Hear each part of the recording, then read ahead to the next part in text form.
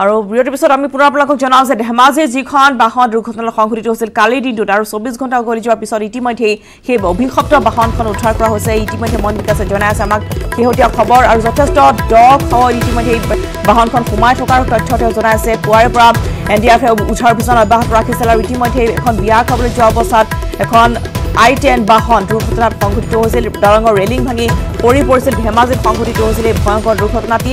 বাহনৰ ভিতৰত ইতিমধ্যে তিনিজনৰ মৃতদেহ উদ্ধাৰ কৰা হৈছে। বাহনখনৰ গৰাকী আছিল টংকেশ্বৰ কলিতা। টংকেশ্বৰ কলিতাৰ লগতে তেওঁৰ প্ৰথমা কন্যা ৰিকি কলিতাৰ মৃতদেহ উদ্ধাৰ কৰা হৈছে। আৰু ইতিমধ্যে বাহনখনৰ ভিতৰতে মনোৰঞ্জন মাহাতুৰ মৃতদেহ আছে বুলি সন্দেহ কৰা হৈছে। বৃহস্পতিবাৰে গেলুৱাজনত পৰিছিল বাহনসহ পাঁচজনকৈ লোক আৰু ইতিমধ্যে পুৱাৰে পৰা এছ ডি আৰ এফ আৰু আৰক্ষীয়ে উদ্ধাৰ অভিযান অব্যাহত ৰাখিছিল। যথেষ্ট কষ্টৰ মূৰত আমি দৃশ্যাংশ দেখুৱাইছোঁ। এয়া এক্সক্লুচিভ দৃশ্যাংশ য'ত এইখন বাহন ৰঙা ৰঙৰ আই টেন বাহনখন উদ্ধাৰ কৰা হৈছে।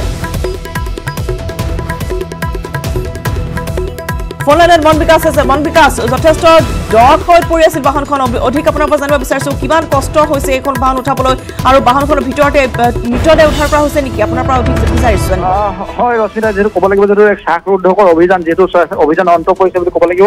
যোৱাকালি গেলুৱাজনৰ সংগঠিত হোৱা এই শীতৰ হাতী হৈছে বহু ৰাইজ। যিহেতু পুৱা ইতিমধ্যে আই বাহনখন ইতিমধ্যে এছ ডি এফৰ দল আৰু এন ডি এফৰ দলে যিটো উদ্ধাৰ কৰিছে আৰু অভিযুক্ত গাড়ীখনত যিটো দুটাকৈ মৃত যিহেতু এন ডি এফৰ এন ডি এফৰ এছ ডি এফৰ দলটোৱে সেই অভিযুক্ত গাড়ীখনৰ আচলতে গৰাকী তথা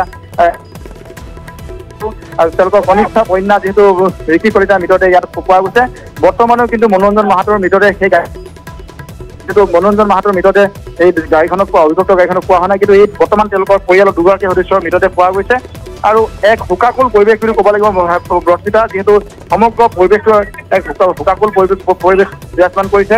যিটো তেওঁলোকৰ পৰিয়ালৰ লোকসকলে ইয়াত সম- উপস্থিত হৈছিলে সেই পৰিয়ালৰ লোকসকল উপস্থিত হৈ উপস্থিত হৈ একে এক আৱেগিক পৰিৱেশৰ সৃষ্টি হৈছে তেওঁলোকৰ উপস্থিত হোৱাৰ পিছত আৰু যথেষ্ট ৰাইজ ৰাইজে উৎকণ্ঠাৰে বাট- চাই ৰৈছিল। যোৱাকালিৰ পৰা সংঘ- ঘটনা সংঘটিত হোৱা এই ঘটনা কেতিয়াবা উঠোৱা হ'ব সকলোৱে বাট চাই ৰৈছিল। কিন্তু চৌবিছ ঘণ্টা হোৱাৰ পি- পূৰ্বেই আমি পুনৰবাৰ কৈছোঁ চৌবিছ ঘণ্টা যিহেতু যোৱাকালি সন্ধিয়া প্ৰায় চাৰে সাত বজা পৰ্যন্ত অভিযান অব্যাহত ৰাখিছিল আৰু অভিযান আজি পুৱাৰ পৰা ছয় বজাতে তেওঁলোকে এই- উপস্থিত হৈছিল আৰু এতিয়া এই ঘটনাস্থলীত তেওঁলোকে সেই যিসকল লোকৰ যিটো সেই পৰিয়ালটোৰ যিটো অভিযুক্ত পৰিয়ালটোৰ যিটো দুটাকৈ মৃতদেহ উদ্ধাৰ কৰিবলৈ সক্ষম হৈছে। ৰশ্মিতা।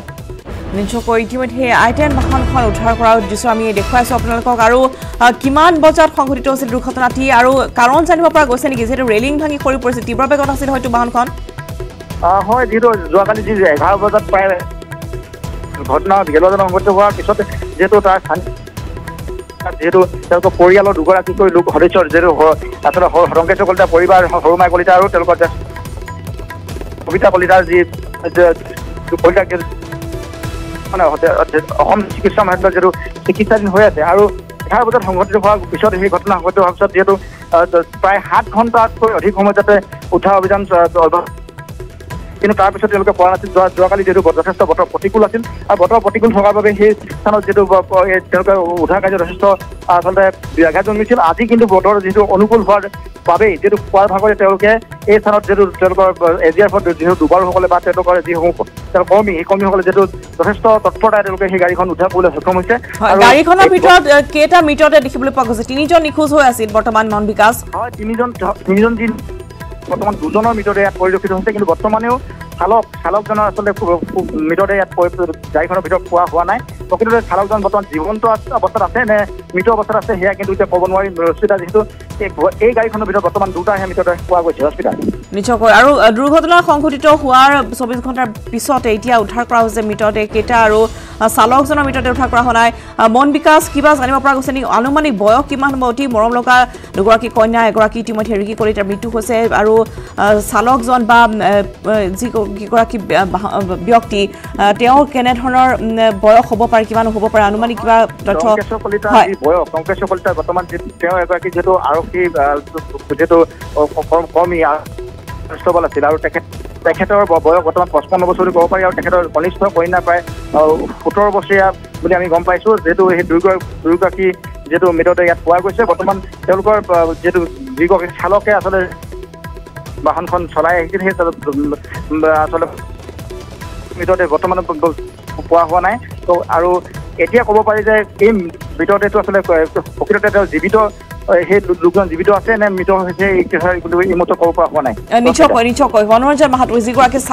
তেওঁ বৰ্তমান তেওঁৰ মৃতদেহ পোৱা হোৱা নাই বা তেওঁ উদ- উদ্ধাৰ অভিযান কি পৰ্যায়ত আছে যিহেতু দুজনক উদ্ধাৰ কৰা হৈছে বা এনেকুৱা হ'ব পাৰে নেকি চালকে বাহনখন দুৰ্ঘটনা সংঘটিত হোৱাৰ পিছত বা সেই মুহূৰ্তত পলায়ন কৰিব পাৰে তেনেধৰণৰ কিবা সন্দেহ কৰিছে নেকি আৰক্ষীয়ে? হয় ইতিমধ্যে যিহেতু ৰাইজে যিটো সন্দেহ প্ৰকাশ কৰিছে যে সেই যিটো চালকজন যিহেতু গাড়ীখনৰ পৰা হয়তো নাতি যি বা পানী যি সময়ত আচলতে ডুব গৈছিল সেই ডুব যোৱাৰ সময়ত হয়তো সেই চালকজন হয়তো তেওঁ পৰি গৈছিল আৰু নতুবা হয়তো তেনেহ'লে তেওঁ সেই গাড়ীখনৰ পৰা হয়তো আঁতৰি আঁতৰি যোৱাৰ ফলত যিহেতু পানীত ইতিমধ্যে ইতিমধ্যে তেখেতৰ হয়তো মৃতদেহ উঠা হ'ব পাৰে কিন্তু এই মুহূৰ্তত ক'ব নোৱাৰি যে সেই আনন্দন মাহাতো প্ৰকৃততে জীৱিত নে মৃত? যিহেতু সেয়া এক সন্দেহ আৱদ্ধ নিশ্চয়কৈ দৃশ্যক আমি দেখুৱাই আছোঁ মন বিকাশৰ সহযোগত যে কিমান ভয়ংকৰ এক দুৰ্ঘটনা সংঘটিত হৈছে। আৰু মন বিকাশ পুনৰ আপোনাৰ পৰা জানিব বিচাৰিছোঁ ৰেলিং ভাঙি সৰি পৰিছিলে এই বাহনখন? এই যিহেতু গেলুৱাজনৰ যিখন দলং এই দলংখন যিহেতু পূৰ্ব ইতিপূৰ্বে যিহেতু বিভিন্ন সময়ত দুৰ্ঘটনা সংঘটিত হৈ আহিছে। যিহেতু আচলতে প্ৰতিটো সংঘটিত হয় বুলি ক'লেও আচলতে ভুল কোৱা নহ'ব। ইয়াত স্থানীয় ৰাইজসকলে অভিযোগ কৰে যে এই যি দলংখনৰ অভিশপ্ত দলংখনৰ আচলতে নিৰ্মাণ বিসংগতি পূৰ্বতে নিৰ্মাণ বিসংগতি হোৱাৰ বাবে ইয়াত যথে- যথে- যথেষ্ট পৰিমাণে দুৰ্ঘটনা বৃদ্ধি পায় আৰু যাৰ নিজেও দুৰ্ঘটনা সংঘটিত হয় আৰু দুৰ্ঘটনা সংঘটিত হৈ যিহেতু বহুজন আছে আৰু এই আক্ৰমণভাৱে যিটো অভিযোগ কৰিছে সকলো ৰাষ্ট্ৰীয় ঘাইপথ অধীনত থকা এই দলংখনৰ দলংখনত যিহেতু বিভিন্ন ধৰণৰ দুৰ্ঘটনা ঘটিছে ৰাইজে ইয়াক পুনৰ নিৰ্মাণৰ দাবী তুলিছিল। কিন্তু এতিয়া বৰ্তমানলৈকে কিন্তু ৰাষ্ট্ৰীয় ঘাইপথ নিৰ্মাণকাৰী সংস্থাই কিন্তু এই দলংখনৰ নিৰ্মাণৰ ক্ষেত্ৰত কিন্তু কোনো ধৰণৰ পদক্ষেপ গ্ৰহণ কৰা নাই। যাৰ বাবে বাৰে বাৰে এই দুৰ্ঘটনা সংঘটিত হোৱাৰ অভিযোগ প্ৰকাশ কৰিছে ৰাইজে। নিশ্চয় মন বিকাশ দলংখনৰ বিষং ঘটি আছিল। তাৰ বাবে পূৰ্বতো এনে ঘটনা সংঘটিত হোৱাৰ অভিযোগ আনিছে স্থানীয় ৰাইজে। কিন্তু বৰ্তমান মন বিকাশ প্ৰশ্ন হৈছে যে চালকজনৰ মৃতদেহ উদ্ধাৰ কৰা হোৱা নাই। যিহেতু একেখন গাড়ীতে পাঁচজন আছিল তাৰে চাৰিজনক উদ্ধাৰ কৰা হৈছে। কিন্তু যিজন চালক মনোৰঞ্জন মাহাতো মনোৰঞ্জন মাহাতোৱে গাড়ীখন চলাই লৈ গৈছিল। কিন্তু বৰ্তমান চালকজনৰ যিহেতু কোনো ধৰণৰ সন্ধান উলিয়াব পৰা হোৱা নাই। গতিকে এই কথাই নিশ্চয়কৈ বৰ্তমান ৰহস্যখন কৰি তুলিছে সমগ্ৰ ঘটনাটো। মন বিকাশ নিশ্চিতভাৱে ৰশ্মিতা যিহেতু ক'ব লাগিব যে এই যোৱাকালি সংঘটিত হোৱা ঘটনা আচলতে চালক চালকগৰাকী যিটো মনোৰঞ্জন মাহাতো মহা- মাহাতো যিহেতু যিহেতু বৰ্তমান যে অৱস্থা উদ্ধাৰ কৰিবলৈ সক্ষম নাই। প্ৰকৃততে জীৱজনে মৃত সেয়া কিন্তু ৰহস্যখন। এছ ডি এফ আৰু এন ডি এফৰ দলসকলে যিহেতু পুনৰবাৰ উদ্ধাৰ অভিযান চলাবলৈ ক'লে তেওঁলোকে উদ্যতৰ যিহেতু নামি পৰিব যিহেতু তেওঁলোকে যোৱাকালি যি গভীৰতা আছিল ইতিমধ্যে যিহেতু কিছু মানে কমি আহিছে আৰু পুনৰবাৰ তেওঁলোকে আজি যিটো উদ্ধাৰ অভিযান চলাব প্ৰকৃততে মনোৰঞ্জন মাহাতোৱে এই স্থানত তেওঁলোকৰ জীৱিত অৱস্থাত আছে নে মৃত অৱস্থাত আছে তেখেতক তেখেতক লৈ তেওঁলোকে অভিযান চলাব। নিজক অভিযান অব্যাহত ৰাখিব মন বিকাশ ইতিমধ্যে যিহেতু যথেষ্ট এক ভয়ংকৰ ঘটনা সংঘটিত হৈছে ধেমাজিৰ চি চি বৰগাঁৱৰ গেলুৱাজানত এখন দলঙৰ পৰা এনেদৰে বাগৰি পৰিছিল। আই টেন বাহনখন য'ত ইতিমধ্যে পাঁচজনৰ চাৰিজনৰ মৃতদেহ ক্ষমা কৰিব। দুজনৰ মৃতদেহ উদ্ধাৰ কৰা হৈছিল চাৰিজনক উদ্ধাৰ কৰা হৈছে অৰ্থাৎ দুজন জীৱিত অৱস্থাত আছে। মন বিকাশ মাতৃ আৰু প্ৰথমা কন্যাৰ কেনেধৰণৰ অৱস্থা শাৰীৰিক অৱস্থা কেনেধৰণৰ তেওঁলোকৰ? বৰ্তমান যিহেতু আৰু ববিতা কলিতা তেওঁলোকৰ জ্যেষ্ঠ কন্যা তেওঁলোক বৰ্তমান অসম চিকিৎসা মেডিকেলত চিকিৎসাধীন। আৰু আজি হয়তো চিকিৎসকে তেওঁলোকক যিহেতু চিকিৎসালয়ৰ পৰা অহাৰ অনুমতি দিব যিহেতু যোৱাকালি তেওঁলোকক অসম চিকিৎসা প্ৰেৰণ কৰা হৈছিল। আজি যিহেতু তেওঁ- তেওঁলোকক যিহেতু যথেষ্ট কালি গুৰুতৰভাৱে তেওঁলোকে অসুস্থ হৈ গৈছিল আৰু আজি যিহেতু তেওঁলোকক চিকিৎসা প্ৰদান কৰাৰ পিছত তেওঁলোকক তেওঁলোকক আজি চিকিৎসকে ঘৰলৈ অহাৰ অনুমতি দিব। যিহেতু আজি যিহেতু তেওঁলোকৰ পৰিয়ালৰ এই দুগৰাকী সদস্য তেওঁলোকে হেৰুৱাইছে যথেষ্ট এক মানসিকভাৱে ভাগি পৰিছে তেওঁলোকৰ পৰিয়াল লোকসকল আৰু তেওঁলোকৰ বাকী দুগৰাকী সদস্যও যে নিশ্চিতভাৱে যথেষ্ট মানসিকভাৱে ভাগি পৰিব। যিহেতু এই খবৰ তেওঁলোকে হয়তো লাভ কৰা নাই। তেওঁলোকক স্বাস্থ্যৰ কাৰণতে হয়তো তেওঁলোকক এই খবৰ তেওঁলোকৰ পৰিয়াললৈ দিয়া নাই কিন্তু মানে তেওঁলোকক সুস্থ কৰি ক'ব পাৰিব। হয় নিজক মন বিকাশ পুনৰ পৰা জানিব বিচাৰিছোঁ টংকেশ্বৰ কলিতা তেওঁলোকে ক'ৰ পৰা আহিছিল আৰু ধেমাজিত এখন বিয়াৰ অনুষ্ঠানত অংশগ্ৰহণ কৰিবলৈ গৈছিল বুলি জানিব পৰা গৈছে গতিকে তালৈ যোৱা অৱস্থাতে এই ঘটনা সংঘটিত হৈছে ঘৰত কোন কোন আছে বৰ্তমান আৰু হয়। যিহেতু যোৱাকালি যি যিহেতু সেই পৰিয়ালটোৱে যিহেতু আহিছিল প্ৰকৃততে তেওঁলোকে অসম চিকিৎসা মহাবিদ্যালয় আহিছিল বুলিহে আমি এতিয়া গম পাইছো যিহেতু অসম চিকিৎসা মহাবিদ্যালয়ত তেওঁলোকে তেওঁলোকৰ হয়তো পৰিয়ালৰ কোনোবা সদস্য যিহেতু স্বাস্থ্য পৰীক্ষা তেওঁলোকৰ বাবে তেওঁলোকে গৈছিল আৰু তাৰ পৰা উভ- উভতি আহি চিলাপথাৰ সেই বিবাহ অনুষ্ঠানত তেওঁলোকে অংশগ্ৰহণ কথা আছিল যদিও তেওঁলোকে স্থান তেওঁলোকে নাপালোগে। যিটো অসম চিকিৎসা আৰু ডিব্ৰুগড়ৰ পৰা আহি তেওঁলোকে চিলাপথাৰ বিবাহ অনুষ্ঠানত তেওঁলোকে অংশগ্ৰহণ কৰিবলৈ আহিছিল আমি গম পাইছোঁ। পৰিয়ালৰ লোকসকলে ইতিমধ্যে আমাৰ যিহেতু সংবাদ মাধ্যমৰ লোকসকলৰ আগত ব্যক্ত কৰিছে। তেওঁলোকৰ ঘৰ লখিমপুৰ লীলাবাৰীৰ পৰা তেওঁলোকে যাত্ৰা লীলাবাৰীত তেখেতলোকৰ ঘৰ টংকেশ্বৰ কলিতাৰ ঘৰ। আৰু টংকেশ্বৰ কলিতা পৰিয়ালৰ আত্মীয় তথা তেওঁলোকৰ ঘৰ ঘৰৰ সদস্য যিহেতু তেওঁলোকৰ আচলতে ভাই ককাইসকল তেওঁলোকে ইতিমধ্যে ঘটনাস্থলীত উপস্থিত হৈছে আৰু তেওঁলোকে আহ, তেওঁলোকৰ এই মৃতদেহ যিহেতু ওলোৱাৰ পিছতে এক প্ৰাকুল পৰিৱেশৰ যিহেতু মাজত তেওঁলোকে আচলতে আৱেগিক হৈ পৰিছে। নিশ্চয়কৈ আৱেগিক হৈ পৰিছে যথেষ্ট এক দুৰ্ভাগ্যজনক ঘটনা সংঘটিত হৈছে যি সময়ছোৱাত আচলতে তেওঁলোকে ডিব্ৰুগড় মেডিকেললৈ গৈছিল। তাৰ পৰা ঘূৰি আহি এখন বিবাহত অংশগ্ৰহণ কৰাৰ কথা আছিল। মন বিকাশ ইতিমধ্যে যিহেতু দেখিবলৈ পোৱা গৈছে যে যথেষ্ট দ খাৱৰ পৰা এই বাহনখন উদ্ধাৰ কৰা হৈছে গতিকে উদ্ধাৰ শেষ হৈছে নে বৰ্তমানো আৰু যিগৰাকী চালক আছিল মনোৰঞ্জন মাহাতো তেওঁক উদ্ধাৰ অভিযানৰ বাবে কিবা আন ব্যৱস্থা গ্ৰহণ কৰা হৈছে নেকি? যিহেতু দ খাৱৈ আছে হয়তো দূৰত থাকিব পাৰে তেনেধৰণৰ কিবা ব্যৱস্থা লোৱা হৈছে নেকি? হয় ৰশ্মিতা যিহেতু ইতিমধ্যে এই গাড়ীখন তেওঁলোকৰ চালকগৰাকী বৰ্তমান ক'ত? যিহেতু মহন মনোৰঞ্জন মাহাতো মৃতদেহ এই গাড়ীখনত ভিতৰত পোৱা নগ'ল। আৰু ইতিমধ্যে এছ ডি এফৰ দলে যিহেতু যি আচলতে অভিজ্ঞপ্ত স্থানত যিহেতু তেওঁলোকে গাড়ীখন উদ্ধাৰ কৰা স্থানত তেওঁলোকে তেওঁলোকে দুবাৰুসকলে যিহেতু তাত পুনৰবাৰ চেষ্টা চলাইছে যে সেই মনোৰঞ্জন মাহাতো মৃতদেহ ইয়াত লাভ আচলতে লাভ কৰা হয় নেকি তেওঁলোকে ইতিমধ্যে তেওঁলোকে উদ্ধাৰ অভিযান পুনৰ নামি পৰিছে। যিহেতু মনোৰঞ্জন মাহাতো বৰ্তমান জীৱিত নে মৃত সেয়া লৈ যিহেতু ৰাইজ যিহেতু এই এটা প্ৰশ্ন উঠিছে মনোৰঞ্জন মাহাতো প্ৰকৃততে যদিহে জীৱিত তেনেহ'লে নিশ্চিতভাৱে ইয়াৰ বাবে পলায়ন কৰিছে। যদিহে মৃত অৱস্থাত আছে তেনেহ'লে এই লোকগৰাকীক ইয়াৰ নিশ্চিতভাৱে এই উদ্ধাৰকাৰী দলে উদ্ধাৰ কৰিবলৈ সক্ষম হ'ব। ৰশ্মিতা নিশ্চয়কৈ আৰু স্থানীয় ৰাইজে কি কয়? পূৰ্বতো যিটো এনেধৰণৰ ঘটনা সংঘটিত হৈছে তেওঁলোকে প্ৰশাসনক জনাইছিল এই কথা? যিহেতু এই ইয়াত ঘটনা সংঘটিত হোৱাৰ পিছত যিহেতু স্থানীয় ৰাইজে তৎপৰতাই এই ব- সেইসকল লোক লোক- দুগৰাকী সদস্যক উদ্ধাৰ কৰিছিলে আৰু পৰিয়ালৰ স্থানীয় ৰাইজে যিহেতু ইয়াত যিহেতু এই দুৰ্ঘটনা সংঘটিত হোৱা স্থানত বা এই দলংখনৰ জিলা প্ৰশাসনক বাৰম্বাৰ যিহেতুকে দাবী জনাই এই স্থানত যিটো যিটো দুৰ্ঘটনা সংঘটিত হৈ আহে। সেইটো এই দুৰ্ঘটনা সংঘটিত লোকসকলক যিটো এই ঘটনা বা উপশম পাবলৈ তেওঁলোকে এই দলংখন আচলতে পুনৰবাৰ নিৰ্মাণ কৰাৰ দাবী জনাইছিলে। আৰু আৰু এই স্থানত যিহেতু সংঘটিত হয় দুৰ্ঘটনা সংঘটিত হোৱাৰ বাবে তেওঁলোকে যিহেতু গম পোৱা নাছিল পৰিয়ালটো যে তেওঁলোকে তেওঁলোকৰ বাবে কাল চিকিৎসাৰ বাবে গৈছিল। ডিব্ৰুগড় চিকিৎসাৰ পৰা উলটি আহি তেওঁলোকে বিবাহ অনুষ্ঠানত অংশ লোৱা আছে। যথেষ্ট এক হৃদয় বিতৰণৰ ঘটনা সংঘটিত হৈছে আৰু যিহেতু আজি বৰ্তমান এই স্থানত কিন্তু যথেষ্ট লোক সমবেত হৈছে। যিহেতু এই ঘটনা সাক্ষী তেওঁলোকে হৈ ৰৈছে কেনেধৰণে আচলতে উদ্ধাৰ অভিযান কৰিছে বা কোন কোন লোক আছিলে সেই তেওঁলোকে চাবৰ কাৰণে যথেষ্ট উঠি হৈ গৈছে।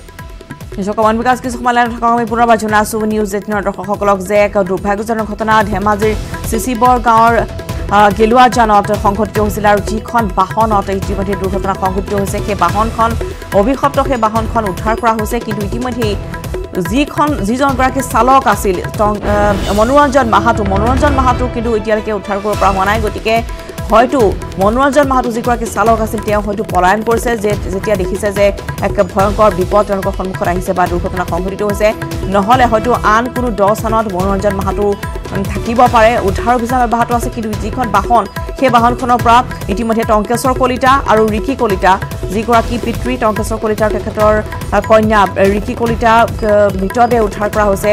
এই বাহনখনৰ পৰা এখন অভিশপ্ত ৰঙা ৰঙৰ আই টেন বাহন যিখন ইতিমধ্যেই লখিমপুৰৰ এইটো পৰিয়াল আছিল ডিব্ৰুগড় মেডিকেল কলেজৰ পৰা তেওঁলোক আহি আছিল ধেমাজিলৈ এখন বিয়াত অংশগ্ৰহণ কৰিবলৈ আহি আছিল বুলি জানিব পৰা গৈছে। তাৰপিছতেই এইখন এখন দলঙৰ পৰাই পৰি পৰিল আই টেন বাহনখন আৰু ইতিমধ্যে স্থানীয় ৰাইজে অভিযোগ কৰিছে যে সেই দলংখনত পূৰ্বতো বহুকেইটা দুৰ্ঘটনা সংঘটিত হৈছে যথেষ্ট আশাপূৰ্ণ আছিল সেই দলংখন য'ত ইতিমধ্যেই মেৰামতিৰ প্ৰয়োজন আছিল। তাৰ মাজতো এই দুৰ্ঘটনাটি সংঘটিত হ'ল।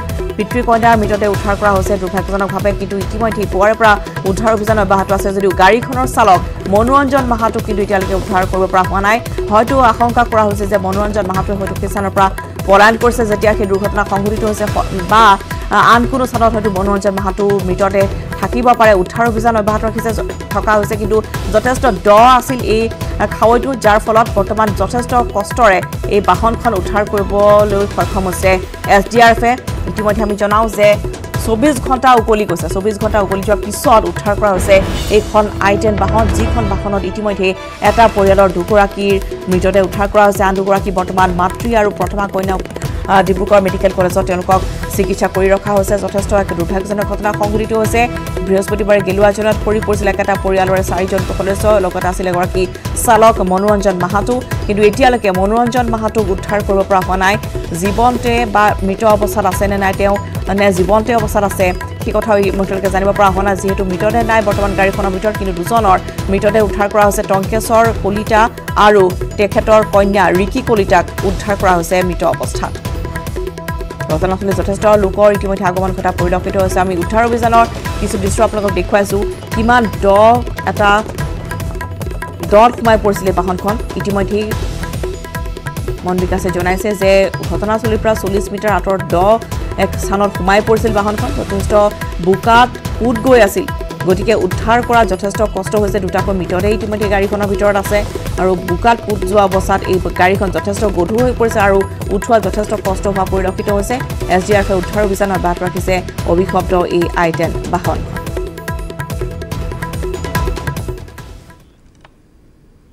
পৰৱৰ্তী খবৰলৈ আগবাঢ়িছো চৰকাৰে খৰ্ব কৰিছে খিলঞ্জীয়াৰ ভূমিৰ অধিকাৰ। বণিক গোষ্ঠীৰ স্বাৰ্থত খিলঞ্জীয়াক প্ৰতাৰণা কৰিছে চৰকাৰে। চৰকাৰৰ খিলঞ্জীয়া বিৰোধী সিদ্ধান্তৰ বিৰুদ্ধে ৰাজ্যজুৰি আছুৱে সাব্যস্ত কৰিছে প্ৰতিবাদী কাৰ্যসূচী।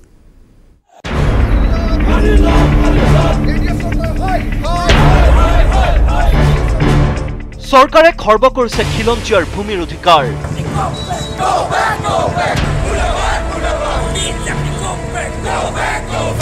বণিক গোষ্ঠীৰ স্বাৰ্থত খিলঞ্জীয়াক প্ৰতাৰণা চৰকাৰৰ।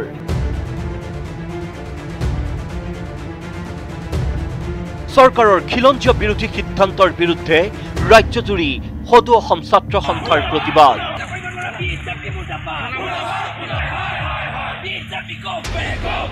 ৰাজ্যিক কেবিনেটে অনুমোদন জনোৱা এম এছ এম ইৰ অধ্যাদেশ খিলঞ্জীয়া কৃষকৰ মৰণ পাণ। এই অভিযোগেৰে কেবিনেটে কৃষিভূমিত উদ্যোগ স্থাপনৰ বাবে অনুমোদন জনোৱা অধ্যাদেশৰ তীব্ৰ বিৰোধিতা সদৌ অসম ছাত্ৰ সন্থাৰ। ৰাজ্যৰ প্ৰতিখন জিলাতে সদৌ অসম ছাত্ৰ সন্থাই দাহ কৰিলে অধ্যাদেশৰ প্ৰতিলিপি। এই অধ্যাদেশ শীঘ্ৰে বাতিল কৰিবলৈ চৰকাৰক কঠোৰ সকিয়নি ছাত্ৰ সন্থাৰ। বহিৰাগত বনিয়া আৰু বহুজাতিক কোম্পানীৰ হাতত আমাৰ কৃষিভূমি অৰ্পণ কৰিবৰ কাৰণে উঠি পৰি যে তেওঁলোকে ষড়যন্ত্ৰ ৰচনা কৰিছে এই কথাই প্ৰমাণ হৈ গ'ল। আৰু এই কথাৰ যোগেদি তেওঁলোকৰ খিলঞ্জীয়া বিৰোধী চিন্তা খিলঞ্জীয়া বিৰোধী সিদ্ধান্ত এইটো স্পষ্ট ৰূপত প্ৰমাণিত হৈ গ'ল। আৰু এই কথাৰ আমি বিৰোধিতা কৰিছো। অসমৰ মাটিৰ অধিকাৰ কাহিনীয়াৰ যি ষড়যন্ত্ৰ এই ষড়যন্ত্ৰ বন্ধ হ'ব লাগিব কেবিনেটৰে এই সিদ্ধান্ত বাতিল হ'ব লাগিব। এই দৃশ্য গোলাঘাটৰ এম এছ এম ইৰ অধ্যাদেশৰ প্ৰতিলিপিতা গোলাঘাট আঞ্চলিক ছাত্ৰ সন্থাৰ। চৰকাৰ বিৰোধী শ্লোগানেৰে উত্তাল প্ৰতিবাদ সাব্যস্ত কৰি চৰকাৰক কঠোৰ সকিয়নি ছাত্ৰ সন্থাৰ। এইখন চৰকাৰে কেবিনেটত যি সিদ্ধান্ত লৈছে যি ভূমি নীতি প্ৰস্তুত কৰিছে এই নীতি খিলঞ্জীয়া বিৰোধী আৰু এই নীতি ছাত্ৰ সন্থাই কেতিয়াও মানি নলয়। কৃষিভূমি ঔদ্যোগিক ভূমিলৈ ৰূপান্তৰৰ বাবে কোনো অনুমতিৰ প্ৰয়োজন নোহোৱা এই অধ্যাদেশত অনুমোদন মানি খিলঞ্জীয়াৰ বুকুত হেল মাৰি বহিৰাগতক ৰঙা তুলিচা পাৰি দিয়া। চৰকাৰৰ এনে হঠকাৰী সিদ্ধান্ত কেতিয়াও মানি লোৱা নহ'ব বুলি তীব্ৰ সকিয়নি দি ডুমডুমা বাইহাটা চাৰিআলিতো প্ৰতিবাদ ছাত্ৰ সন্থাৰ সদস্যসকলৰ। তো ইয়াৰ পৰা আমি সৰ্বানন্দ সোণোৱাল নেতৃত্বাধীন অসম চৰকাৰক আমি কৈ দিব বিচাৰোঁ। তেওঁলোকে যদি এই বিল বাতিল নকৰে ভয়ংকৰ আন্দোলনৰ সন্মুখীন হ'ব লাগিব। পুনৰ তেওঁলোক ঘৰৰ পৰা ওলাব নোৱাৰা হ'ব। পুনৰ ৰাস্তাত টায়াৰ জ্বলিব। আৰু তেওঁলোকে আকৌ পহু খেদা খাই পলাই ফুৰিব লাগিব। ঔদ্যোগিকৰণৰ অজুহাতত খিলঞ্জীয়াৰ ভূমি কাঢ়ি লোৱা চৰকাৰী ষড়যন্ত্ৰৰ বিৰুদ্ধে নলবাৰীৰো ছাত্ৰ সন্থাৰ বাইছখন আঞ্চলিকে সাব্যস্ত কৰিলে প্ৰতিবাদ। সোণাৰীত প্ৰতিবাদকাৰীসকলে দাহ কৰিলে প্ৰধানমন্ত্ৰী মুখ্যমন্ত্ৰীৰ প্ৰতিকৃতি। শিৱসাগৰ জিলা ছাত্ৰ সন্থা আৰু আঞ্চলিক ছাত্ৰ সন্থাই দাহ কৰিলে অধ্যাদেশৰ প্ৰতিলিপি। অসমতে অসমীয়াৰ ভূমিৰ অধিকাৰ কাঢ়িব বিচৰা চৰকাৰৰ সিদ্ধান্তক গৰিহণাৰে তীব্ৰ প্ৰতিবাদ বকলীয়াঘাট আৰু নাহৰকটীয়া ছাত্ৰ সন্থাৰো জাতি মাতি ভেটি সুৰক্ষাৰ শ্লোগানেৰে গাদীত বহা বিজেপি চৰকাৰখনে খিলঞ্জীয়াক এনে চৰম প্ৰতাৰণা কৰাৰ সিদ্ধান্ত প্ৰত্যাহাৰ নকৰিলে আগন্তুক দিনত জংগী আন্দোলনৰো হুংকাৰ। সদৌ অসম ছাত্ৰ সন্থাৰ। ছাত্ৰ সন্থাৰ এই প্ৰতিবাদক বিজেপি চৰকাৰে গুৰুত্ব দিবনে? নে খিলঞ্জীয়া বিৰোধী স্থিতিতে অটল থাকিব বিজেপি চৰকাৰ? Bureau report news eighteen Assam north east.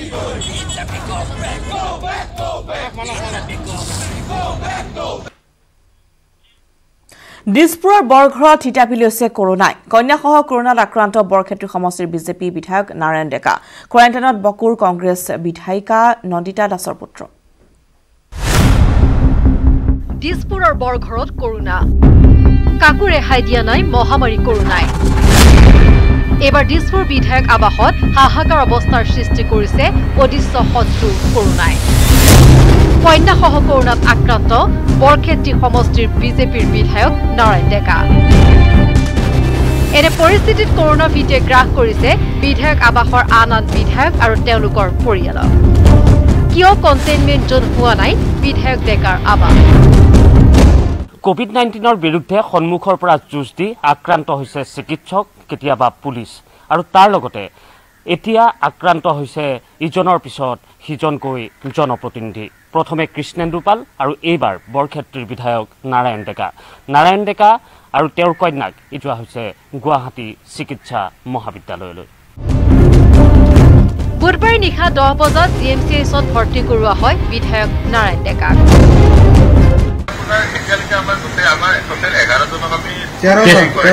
Test চবৰে কৰোৱা হৈছে ন বাকীখিনি চব নিগেটিভ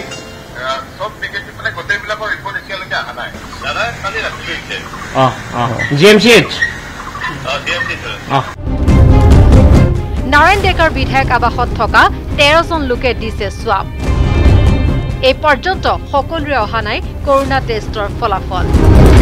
কিন্তু সতৰ্কতাৰ ক্ষেত্ৰত কোনো ধৰণৰ স্বাস্থ্য বিভাগৰ জাননী নাই এইটো আৱাসত ইফালে বিধায়ক আৱাসতে কোৱাৰেণ্টাইনত আছে বিধায়িকা নন্দিতা দাসৰ পুত্ৰ ঋষিকেশ দাস। তেতেলীয়াৰ নিজা বাসগৃহতে আছে বিধায়িকা নন্দিতা দাস।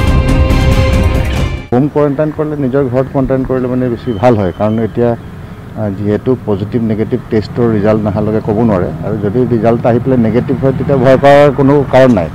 কিন্তু যদিহে পজিটিভ হয় তেতিয়াহ'লে ডেফিনেটলি এইটো ক'ভিড ট্ৰিটমেণ্ট চেণ্টাৰ য'ত আছে তাত কৰাটো উচিত। সকলো ব্যক্তিয়ে সচেতন হ'ব লাগিব আৰু আহ, কৰোণাৰ বিৰুদ্ধে যিখিনি ব্যৱস্থা ল'ব লাগে আমি নিজে যদি লওঁ মই ভাবোঁ এই ৰোগৰ পৰা আমি মুক্ত হ'বলৈ কাৰণে সক্ষম হ'ম। এতিয়া প্ৰশ্ন হয় যিখন গুৱাহাটী কভিড হটস্পটত পৰিণত হৈছে সেইখন গুৱাহাটীৰ জনপ্ৰতিনিধিৰ আৱাসকে যদি সুৰক্ষিত কৰি নাৰাখে তেনেহলে কি হ'ব সাধাৰণ লোকৰ ক্ষেত্ৰত? কেমেৰাত বিপ্লৱ পাল আৰু নিতুল কৃষ্ণৰ সহযোগত ৰাজু বৰুৱা আৰু Bipul Barman news eighteen Assam north east. আৰু অনিচ্ছাকৃত ভুলবশতঃ বৃহস্পতিবাৰে নিউজ এইটিন প্ৰাইম টাইমত বুলেটিনত বকুৰ বিধায়িকা নন্দী দাসৰ পুত্ৰ ঋষিকেশ দাস কৰোণা পজিটিভ বুলি সম্প্ৰচাৰিত হৈছিল। দাসৰ পুত্ৰ কৰোণা পজিটিভ নহয় আৰু এই ভুলৰ বাবে আমি ক্ষমা প্ৰাৰ্থী। ইয়াৰ লগতে সময় হৈছে। প্ৰথম সংবাদৰ পৰা বিদায় লোৱাৰ। নমস্কাৰ।